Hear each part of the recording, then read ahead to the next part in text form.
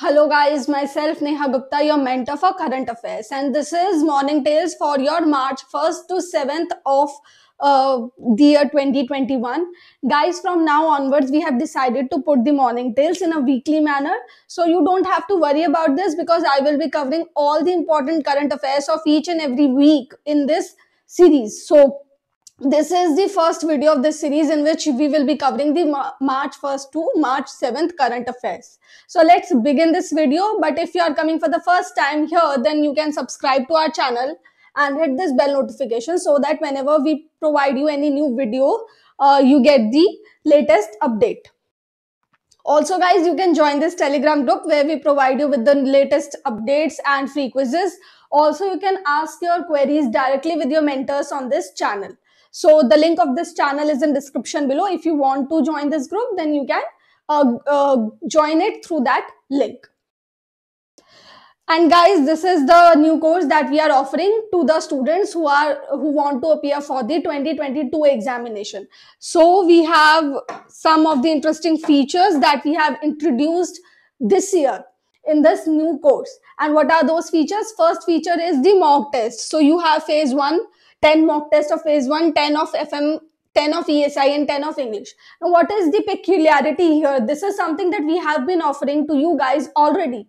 The peculiarity is the new pattern that RBI has announced uh, for the uh, examination, in particularly in the phase 2. So you have 50% descriptive in both FM and ESI. So we have prepared the mock test by keeping in mind that new pattern.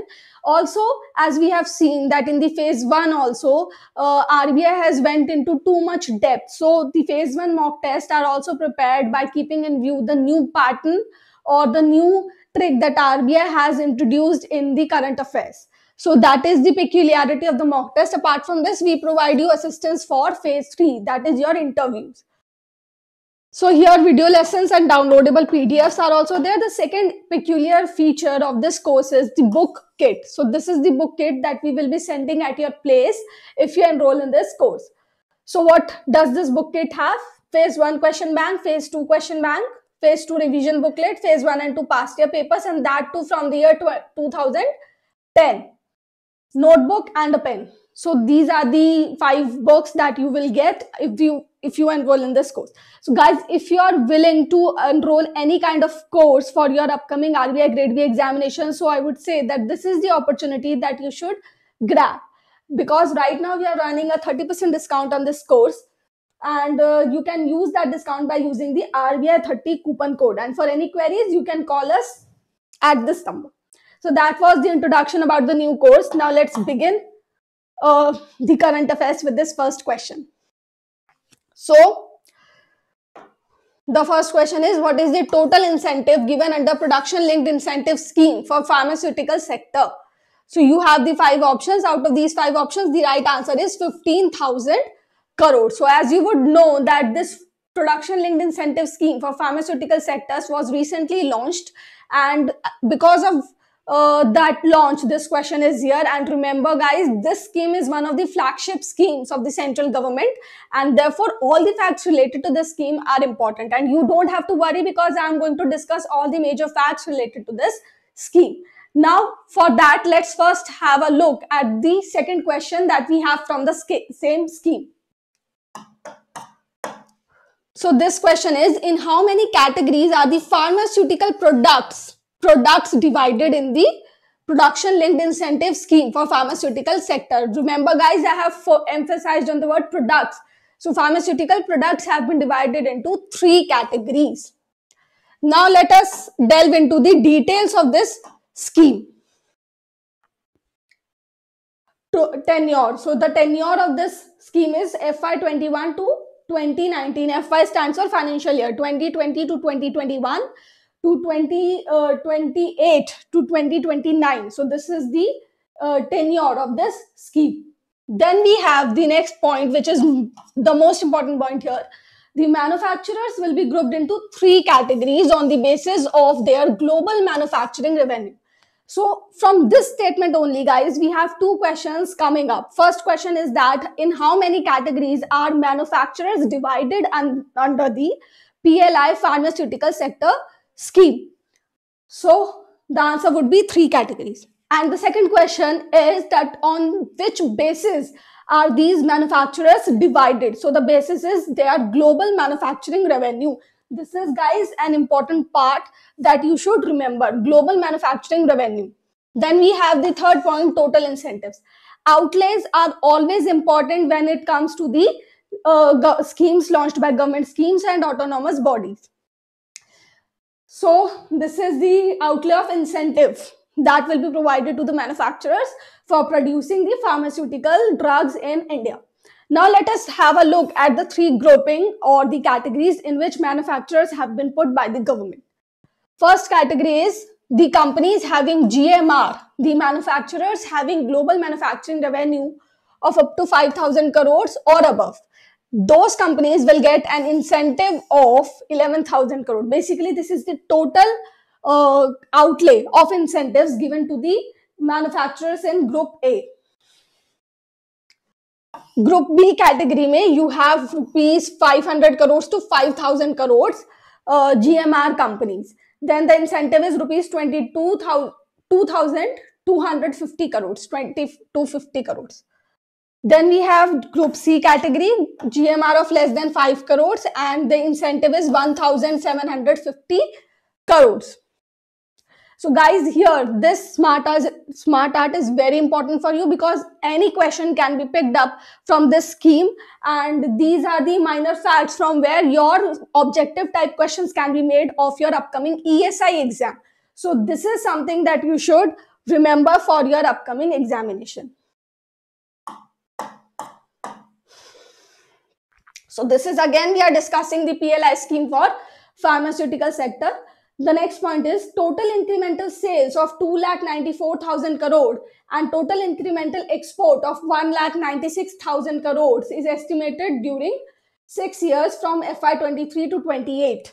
So guys, this is somewhere a target that the government is aiming to achieve through this PLI scheme for pharmaceutical sector. So therefore, this is important for you to remember the exact amounts of the production, the incremental sales, not production, and the incremental export value that the government aims to achieve during this six year tenure. Okay. The base year for calculation of incremental value is 2019 to 20. So the next question can be framed from this statement is that what is the base year for calculating the incremental value of manufacturing and exports uh, under this PLI scheme for pharmaceutical sectors? Then your answer would be 2019 to 20. Next is all the goods and the pharmaceutical sector are divided into three categories. So this was our primary question only. Bifurcation of the percentage of incentive in the three categories of goods on yearly basis is as follows. So guys, this is the three categories of products and the percentage of incentive given to these products in different years. So this is something that you should prepare for your examination.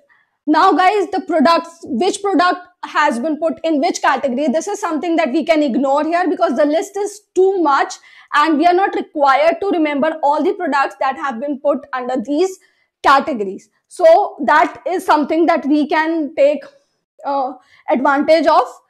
But the things that I mentioned here, these are important. The percentages are important. Therefore, you cannot ignore these percentages. You have to memorize this smart art. Okay, so now let's discuss our second question. Recently, the central government has launched the production linked incentive scheme for IT sector to provide impetus to domestic value addition for IT hardware, which is expected to rise to 20% to 25% by 2025. The scheme will target four sectors, namely laptop, tablets, and all-in-one PCs and servers what is the base year for calculating the value of incremental sales under this scheme. So see, the question from the base year for IT hardware sector has been asked from you. So what is the base year? The base year is 2019 to 20. Guys, if you know that this IT sector scheme, IT hardware sector scheme and pharmaceutical sector schemes were launched together. Therefore, uh, you can also remember it in this way that the base year is 2019 to 20 because these two schemes were launched together in 2021. And 2020 to 2021 cannot be the base year because that was the COVID year. Okay, so these are the some these are some of the facts related to the IT hardware scheme. So the first fact is purpose.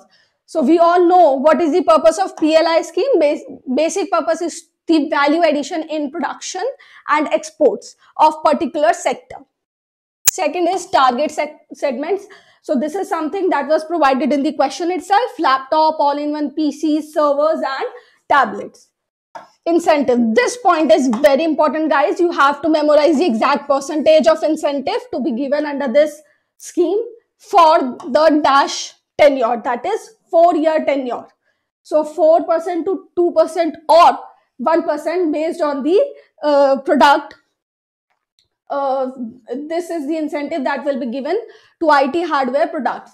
And this is the tenure for which the incentive will be given value of the incremental sales is calculated on the base year of 2019 to 20. So this is the question itself that we face right now. Outlay. So as I told you earlier as well, outlays are always important for all the major schemes. So the total outlay is this and this is the bifurcation of the outlay that you have to remember. Bifurcation is also important. So this much amount has been segregated for incentives and this much is for the administrative cost. So I'm again saying this thing, do not leave out this bifurcation. This is also important. So this is the total budget for four years, 7,350 crores. Expected employment generation through this scheme, 1,80,000 in four years. This is also uh, a target that the government aims to achieve through this scheme. Therefore, this is also important. Okay, so this point was already there in the question itself. That is, the scheme aims to increase the domestic value addition for the IT sector, IT hardware sector, uh, and this domestic value addition is expected to rise to 20 to 25% by the year 2025. So these are the points related to the PLI scheme for IT hardware. And guys, this is the list of 13 sectors in which PLI scheme is being implemented by the government. So during the budget only, Union Finance Minister Nirmala Sitharaman herself announced this thing that PLI scheme is being implemented in 13 sector. And this is an important list, guys. You have to memorize all the sectors in which PLI scheme is being implemented because any question can be framed out of this. For example, you can be asked this question that which of the following is not a sector covered under PLI scheme, then you should be aware of all the sectors that are covered under this scheme. And guys, the number of these sectors are not very much, only 13 sectors are there, therefore you can easily remember it. So do not leave out this list for your upcoming examination.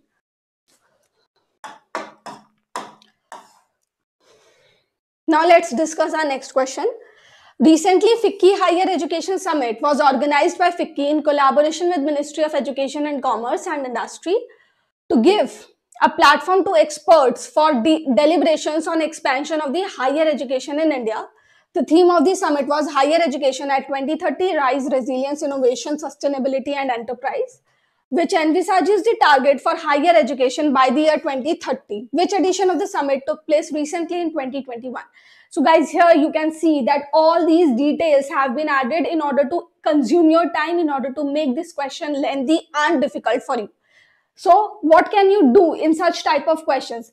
I have already told you guys that if there is a full stop, you can also read the last part of the question because generally the last in the last part of the question, the exact question has been asked from you. So exact question is about the edition of the summit. So you could have easily read the summit uh, this keyword and then you could have jumped to this thing okay but i'm not saying that this trick can always work in all type of questions no guys generally in current affairs questions you can do this thing because questions the answer of the questions is generally fact based and straightforward there is no analytical concept in the questions of current affairs that you should apply. Therefore, there is no need to uh, spend your much time on the entire question. You can use this trick as well.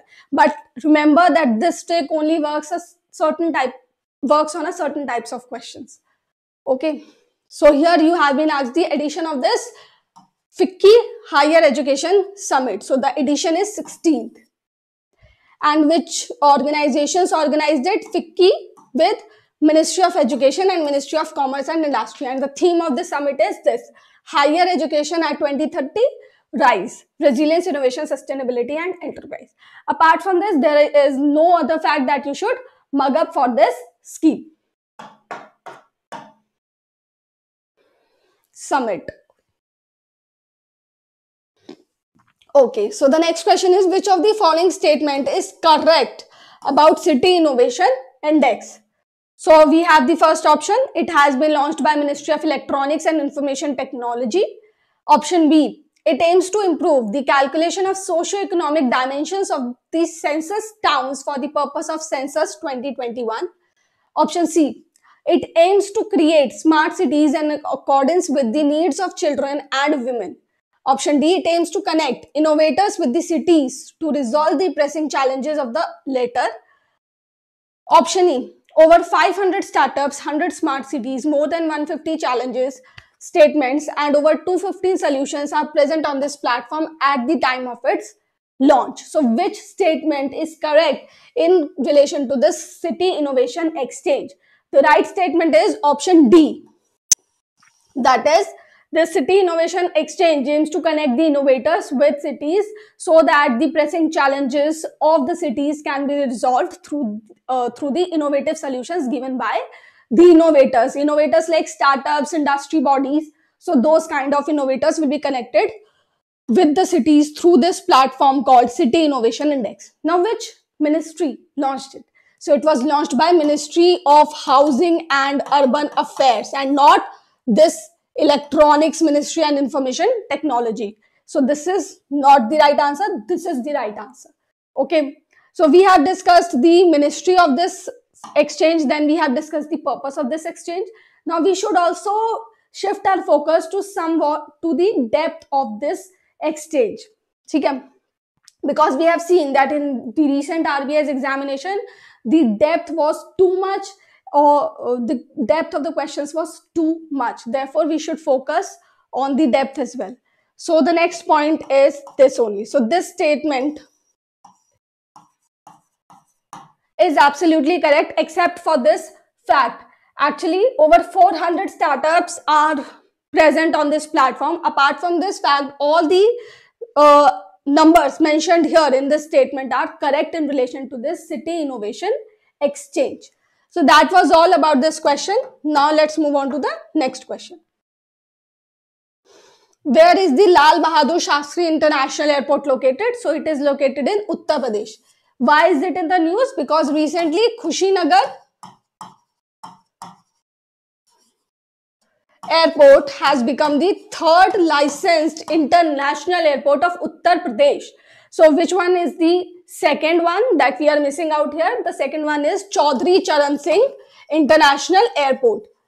So these are the three airports in the state of Uttar Pradesh which are international airports. Okay, that is why this was in news.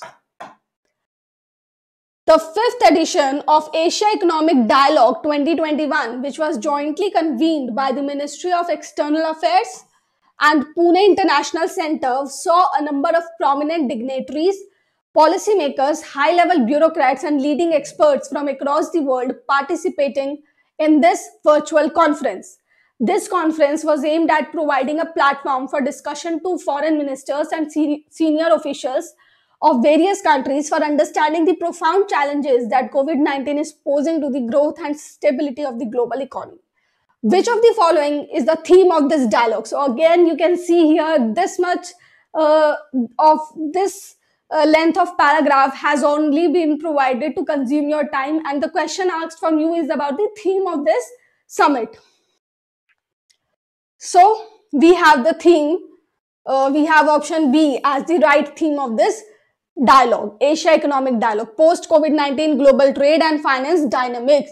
So you can yourself see the addition of this dialogue is there. Then we have the theme here. Then we have the purpose of this conference here. And apart from this you don't have to delve into too much extra details of this dialogue.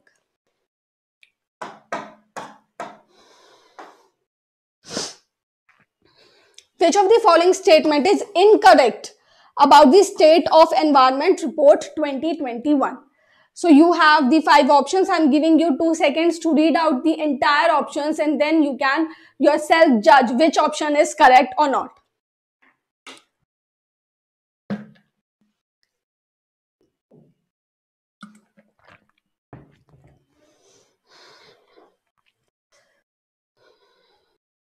Okay, so I hope guys that you have read the options and if you have not, then you can pause the screen and then read the options on your own. Now let me tell you that the correct, uh, the incorrect option in relation to this report is option A. That is, this is the annual report of Down to Earth magazine and not PwC. So basically this state of environment uh, report is released by Down to Earth on an annual basis in collaboration with Center for Science and Environment. Now, apart from these, these four points are the outcomes of this report. So we will be delving into the details of this report because this is one of the important report. So let's discuss the details about this report.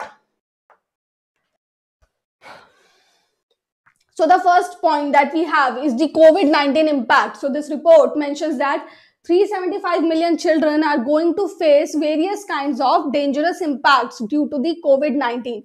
And the impacts are wasting, stunting, malnutrition. Then you have education lag. So similar kind of impact uh, are going to be faced by the 375 million children. This is an important number, guys because if you google this state of education uh, state of environment report then the number that you would you would find in the entire google page is this number only. 375 million children are going to have the adverse impact impacts of this covid-19 pandemic. Therefore this number is very important. Second is school dropouts. So over 500 million children were forced out of the schools globally and india account for half of them more than half of them.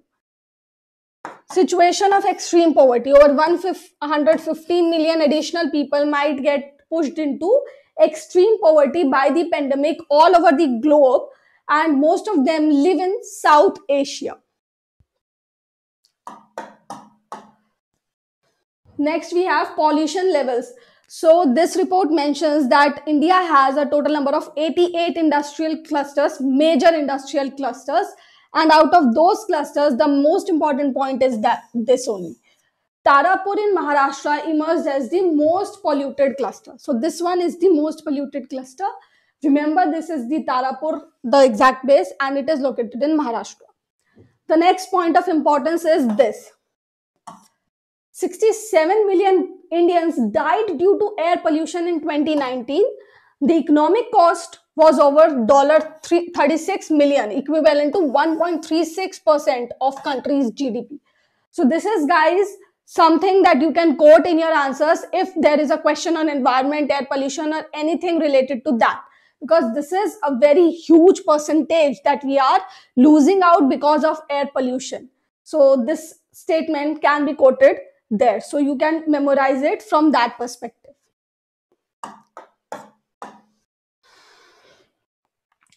So this is the third slide that we are discussing from the state of environment report only. So these are the important facts, guys. Anything can be asked from you in your upcoming phase 2 examination of RBI grade B. Ranking. India ranked 117th among 192 nations in terms of sustainable development and was now behind all South Asian nations except Pakistan. So in terms of Sustainable Development Goals implementation, India ranks at 117 as per this report. And this point, these two points are very important. Best states in SDG implementation, these are the five points. And we have seen in our recent examination that top five states are important because in your recent phase one examination, you had a question on innovation index in which top uh, five rankings were asked from you. Like which uh, how many southern states are there in the top five rankings of innovation index?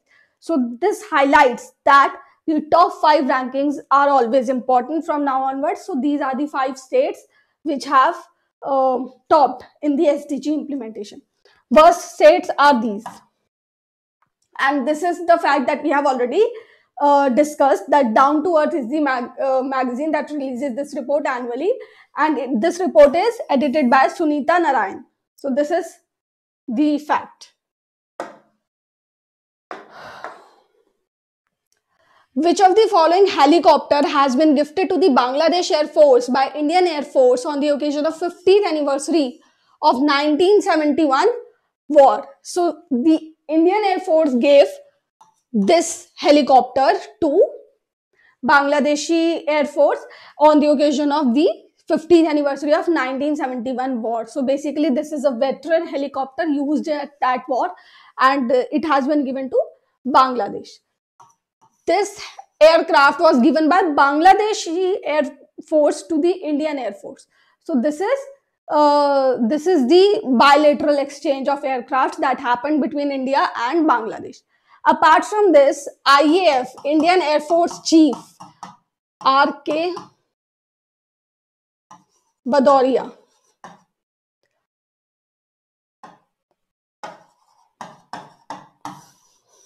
So he was added into the Mirpur Hall of Fame, which is located in Dhaka. So this is the another fact from this news only. And these are purely factual facts that you have to remember. Next.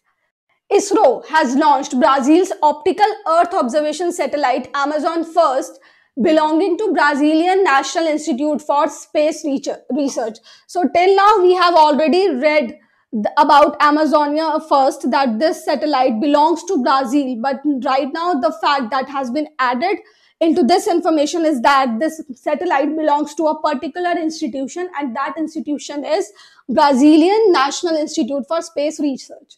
Now guys, I know that you guys are getting uh, pissed off because of so much facts here that how will you memorize all these facts. So the basic key to memorize all these current affairs is the daily revision. If you revise the current affairs on a daily basis, only then you will be able to retain all these facts. Because now the depth has increased the number of facts has increased and our approach should also be in, uh, should also be changed and it should be uh, widened. Our approach for covering the current affairs should be increased enhanced widened whatever word you can use. So these are some of the facts that have been added right now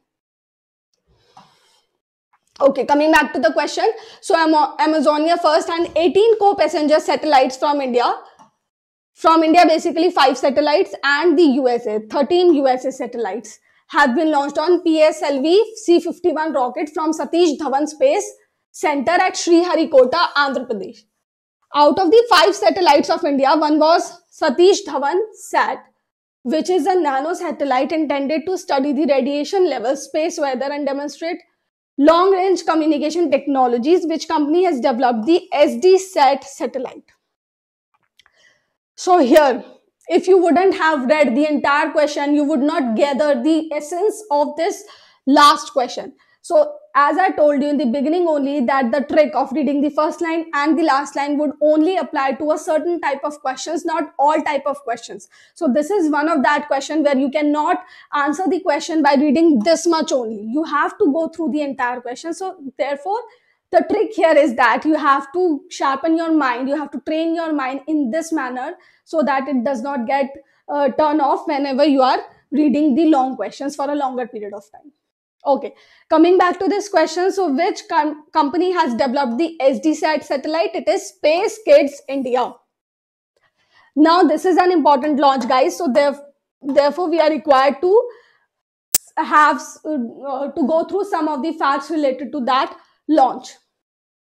The first fact is this was the 53rd flight of PSLV C51 and first dedicated mission of New Space India Limited the commercial arm of ISRO. So if you remember that this New Space India Limited organization was set up only to commercialize the operations of satellite launch as well as to allow private sector to uh, private sector to operate the uh, to operate in the space sector. So basically you, as you have seen many private companies like skyroot aerospace Pixxel agnikul cosmos these all are space private space companies that are coming up and developing the satellites developing the launch vehicles for launches. So this is the new endeavor of our indian government. Can you guys tell me when was this new space limited organization set up? This is your question that you have to mention in the comment section below the mission was undertaken under a commercial arrangement with Spaceflight Inc. USA. This is again a major fact related to this question that this entire launch has been done under an agreement with Spaceflight Inc. of USA. Next is cohort of Indian satellites. Basically, the grouping of Indian satellites, as we have read in the question itself, that five satellites of uh, belonging to India were launched during the during this launch. So which were these satellites? We are not going to uh, going into all these satellites. We are only reading the major important satellites. So the first satellite is Satish Dhawan Sat. It is built by Space Kidz India and this is the purpose of this satellite. Next is Unity satellite. Unity Sat. So it is a combination of three satellites for uh, providing the radio relay services and it is developed by these three institutions. Next is Sindhu Netra. It is an Indian technology demonstration satellite. It is developed by DRDO. This is Anand. This was developed by Pixxel, but it could not be launched because of some technical glitch. But still, it is important for you to know that which satellite did not, uh, which satellite was not launched during this launch. So it was Anand and Anand was developed by Pixxel. So that's all for this question. Which state has launched Gharon Ki Pehchan Chalik Naam? So basically daughter's name is a home's identity program. This was launched by Uttarakhand and there is nothing much guys believe me that you can memorize from this scheme because it is first of all it is a state scheme secondly the provisions of this scheme have not been revealed by the state government therefore we have only this much information that this scheme was launched by uttarakhand only next Haryana has launched the Mukhyamantri Antyodaya Parivar Utthan Yojana to uplift 1 lakh families with low income, low family income in the state. The scheme was launched on the occasion of 644th birth anniversary of Dash. Other schemes launched on this occasion are Dr. Bhimrao Ambedkar Awas Navnikaran Yojana, Sant Mahapurush Vichar Samman and Prasar Yojana.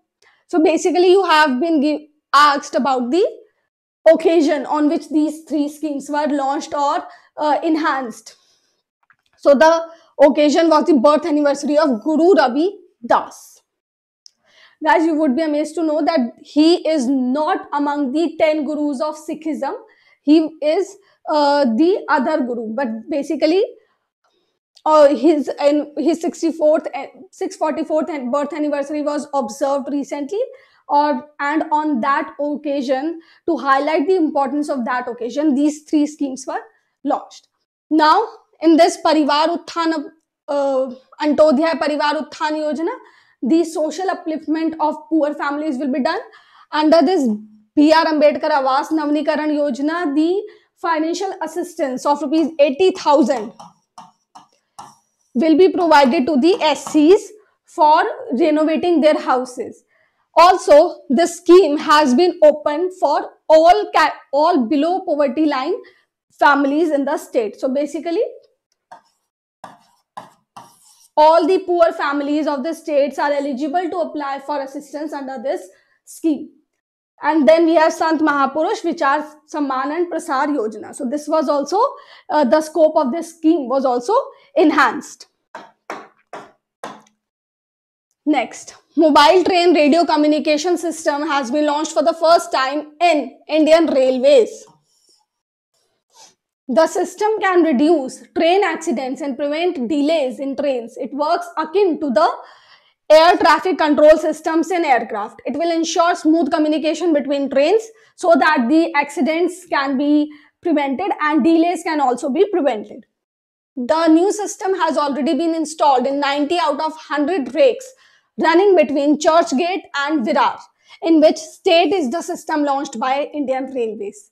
So this is the question asking you about the state in which this first of its kind mobile train radio communication system has been launched. So it has been launched in Maharashtra and Mumbai is the exact place. So this Churchgate and Virar railway stations are located in Mumbai and this is the first of its kind system of Indian Railways. Now what is the purpose? The purpose has been cleared in the question itself that is to prevent accidents and to prevent delays. And it is somewhere like the air control air traffic control management system that the that we have in india and across the globe. This system is crucial for running the airplanes. And now from now onward this system this mtrc system has been implemented in india as well for indian railways Central Revenues Control Laboratory New Delhi under the Central Board of Indirect Taxes and Customs has been recognized as a regional custom laboratory of the World Customs Organization for Asia Pacific region. When was the World Custom Organization formed? So this is a different question. This is a trick basically played by you. The recent news has been given to you in the question itself and the question is on the World Custom Organization. So when was it formed? It was formed in 1952. Can you guys tell me who is the Director General of this organization? This is located in Brussels, Belgium.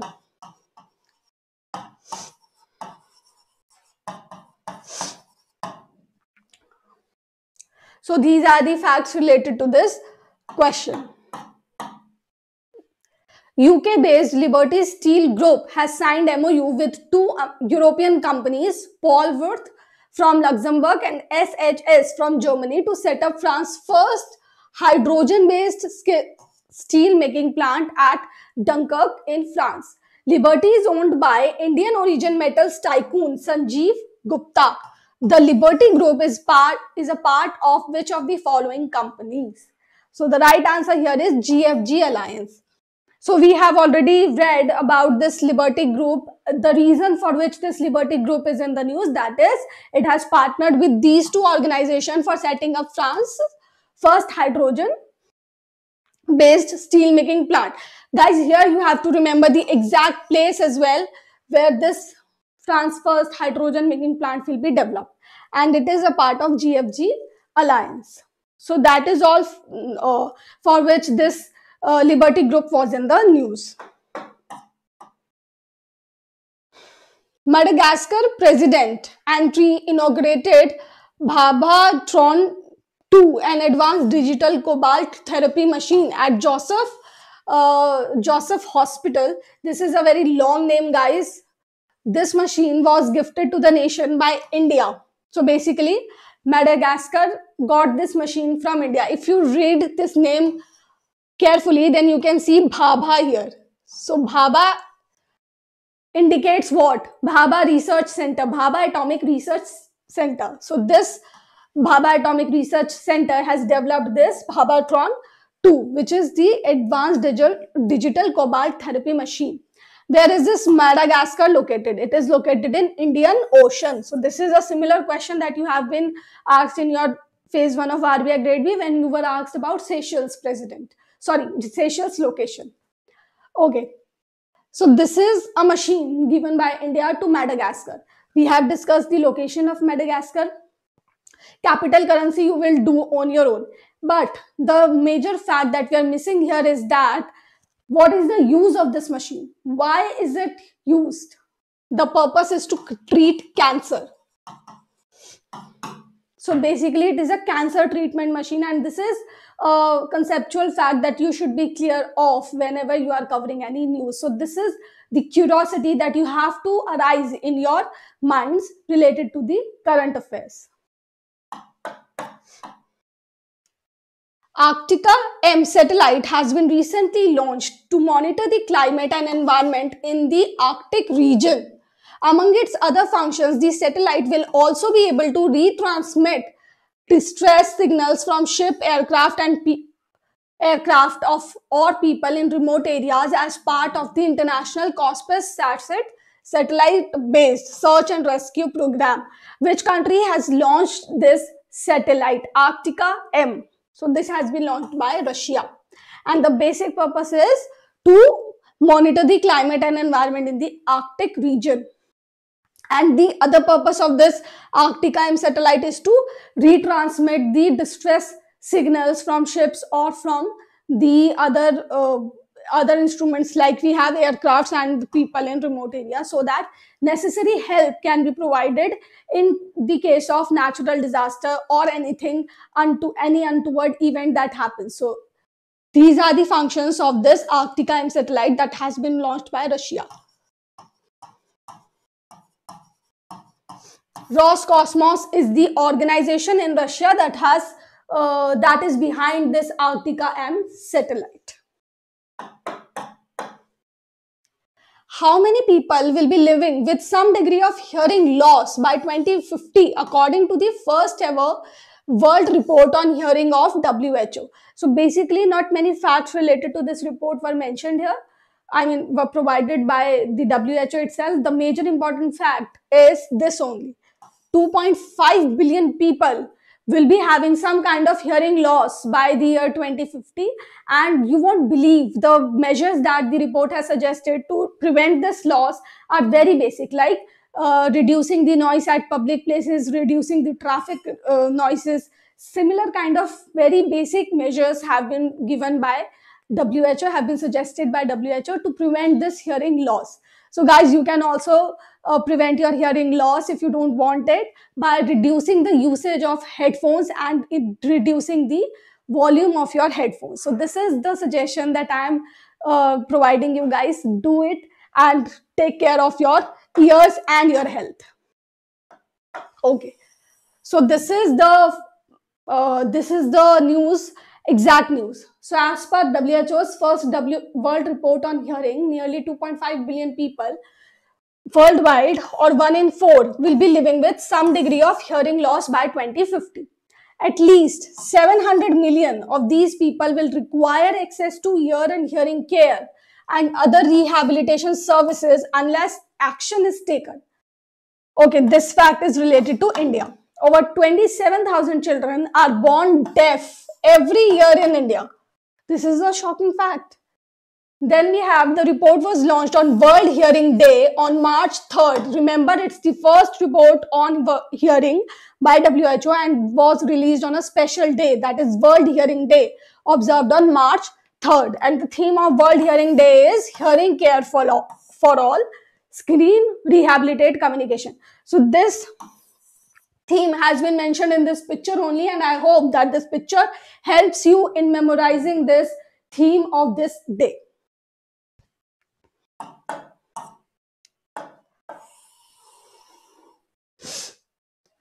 Next question is recently Fino Payments Bank has entered into the second schedule of RBI Act 1934. This accords the nomenclature of a scheduled bank to the Fino Payments Bank and allows leeway to the bank in following some financial parameters like participation in the liquidity adjustment facility window of RBI, among other things. The second schedule of RBI Act has only two payment banks till now. Which of the following is the other payment bank mentioned in this second schedule? So basically, let me decipher the entire meaning of this question. The question is saying that Fino Payment Bank has entered into the second schedule and by entering into the second schedule, Fino Payments Bank has become a scheduled bank. Now, after becoming the scheduled bank, the Fino Payment Bank will get some benefits like the liquidity adjustment facility and similarly other kinds of benefits will also be provided to the Fino Payment Bank because now it has entered into the second schedule of RBI Act which mentions only the scheduled banks in India. So the other part of the question, the later part of the question is saying that this second schedule only has two payment banks one is Fino Payment Bank and the other one is India Post Payment Bank. So these are the only two payment banks that are there in this second schedule. Remember, this is the bank with 100% government equity. Okay.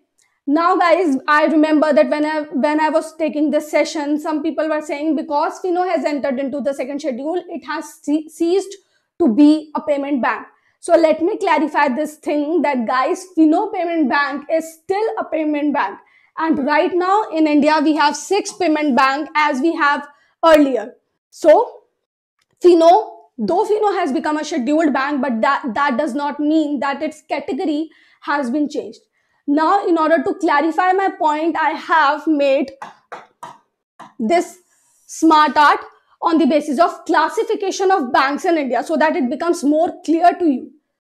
Types of bank, we have scheduled banks and non-scheduled banks. Under the scheduled banks, you have two types of banks, commercial banks and cooperative banks.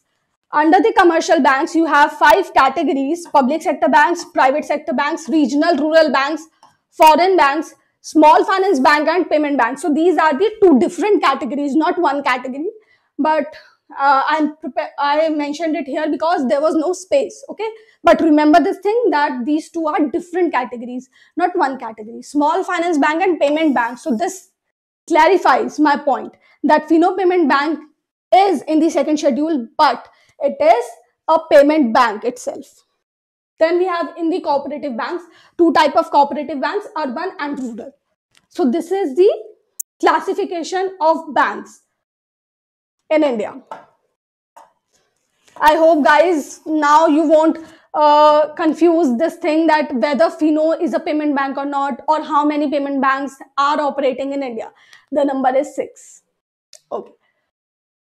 Next point. Which of the following is not a feature of active health policy, industry first health insurance policy launched by Aditya Birla Health Insurance Company Limited. So,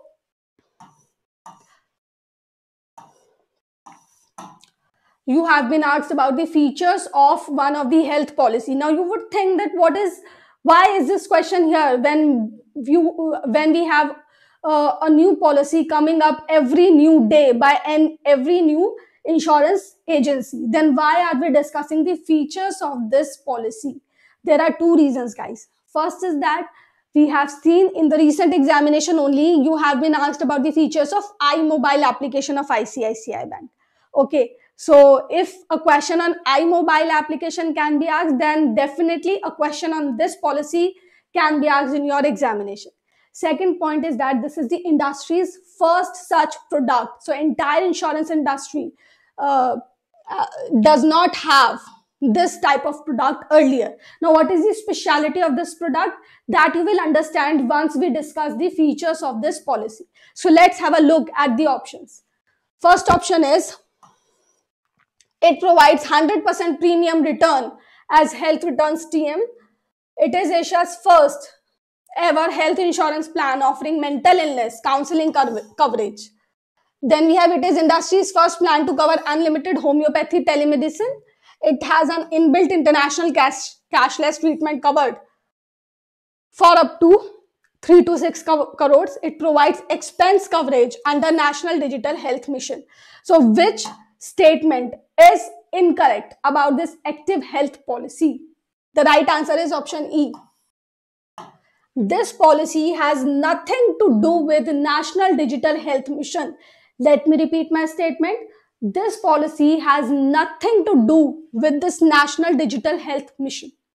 Apart from this point, all the facts mentioned here are the features of this policy. So as I told you, it is the first such kind of product in the entire industry, insurance industry. The reason behind this is this. It provides 100% premium return and also these factors like it is asia's first ever health insurance plan for uh, providing the mental illness counseling expenses then it has unlimited homeopathy telemedicine also so these features make it the industry's first product in india as well as in asia which company has launched sme insure portal to bring 5 crore smes under the insurance category. So basically the basic feature of this SME Insure portal is to provide all kinds of services related to insurance on one platform to small and medium enterprises.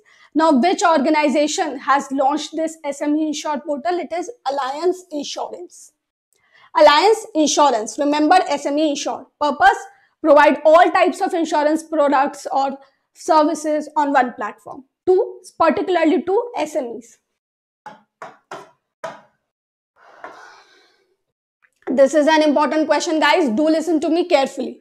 Recently, RBI has released its report on currency and finance for 2020 to 2021 for reviewing the monetary policy framework. The report states that the inflation target of 4% with a plus minus 2% tolerance band is appropriate for the next five years. This report also sheds some light on the relevance of flexible inflation targeting on price stability framework apart from justifying the inflation range for India. When was this FIT framework operationalized by RBI? So this is the question from this entire news. When was this operationalized? It was operationalized in 2016. Now let us have a look at the report. This we have already discussed. So this is the fact already provided in the question itself, 4% uh, is appropriate. And various reasons have been given by RBI for the appropriateness of this target. But that is something that we can leave right away because this is not our target area to cover. Second point is the study has taken the period of October 2016 to March 2020. So October 2016 is a period where uh, when this flexible inflation targeting framework was operationalized in India. Remember that this is the duration for measuring the inflation uh, in India uh, in this report, Currency and Finances. What is the next point that is mentioned in this report? This point is very important, guys. Firstly, remember all the facts mentioned in this report, mentioned uh, in the spotlight from this report are very important because this is RBI's report. Okay.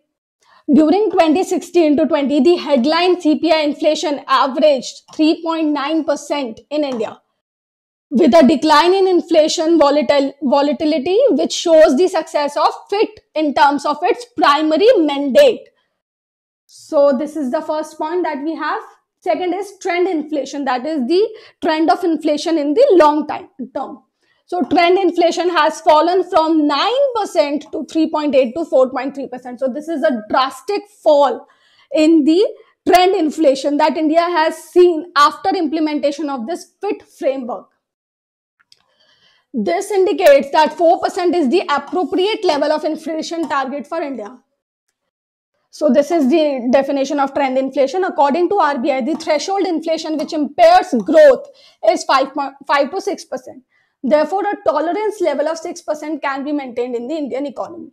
So basically at 5 or 6% of inflation, the growth of economy starts to get, uh, starts to stumble.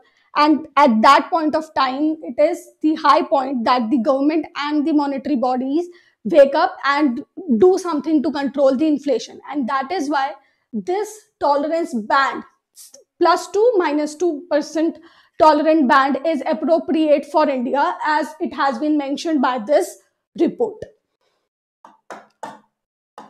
So that was all about that report. Now we are on a simpler question. We I know that uh, the questions were heavy and your mind has right now has become jammed because of those heavy questions. Therefore from now onwards you have very simple easy questions.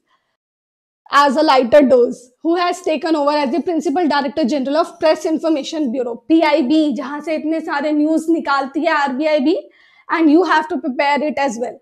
Now who has become the director general of this pib it is jagdeep sorry Jaideep Bhatnagar नाम याद रखना it is important when is the protein day observe national protein day it is February twenty seven guys I realise right ना only that in the video I did not ask much question from you apart from one और two question therefore, right now, i'm going to ask you one question, and that is the theme of this national protein day. This is something that you have to find out and tell me in the comment section below. Next, what is Mukesh Ambani's rank in Hurun Global Rich List? So globally, Mukesh Ambani is the eighth richest man. And this is the list of richest people in the world. First is Elon Musk, Jeff Bezos, Bernard, uh, Bernard Arnault, Bill Gates, Mark Zuckerberg, Warner, Warren Buffett, Zhong Shanshan, Mukesh Ambani. And then we have these two other people. These are the important blocks. So first is this one, the top 10 rankers and the main company. And the company to which these people belong. So these are the two important blocks that you have to memorize because this is a part of your general awareness, not particularly from this report, but you should be aware of this fact that Bernard Arnault, Arnault is uh, the CEO of which company? So it is LVMH. Then we have Mark Zuckerberg. Mark Zuckerberg is a very uh, famous name. Everyone knows he's from Facebook. Then Warren Buffett. Do you know that he belongs to Berkshire Hathaway? He is the chief of this company. So this is uh, something that you should be aware of. So for your general awareness purpose, I'm saying that you can memorize these people and the uh, their organizations because they are the present chiefs of these organizations. So that was something that I wanted to tell you. And here this session ends for your first week of March 2021. I hope that you have enjoyed during this session and learned a lot. Do not forget to mention the answers in the comment box as well as your opinions about this series that we have started. So if you have any queries also, you can mention it in the comment section as well as on the telegram group. Thank you so much for watching the video. Do not forget to come on the next Friday at 10 a.m. on YouTube only because I will be having the live for the next week of March. Thank you so much for watching the video.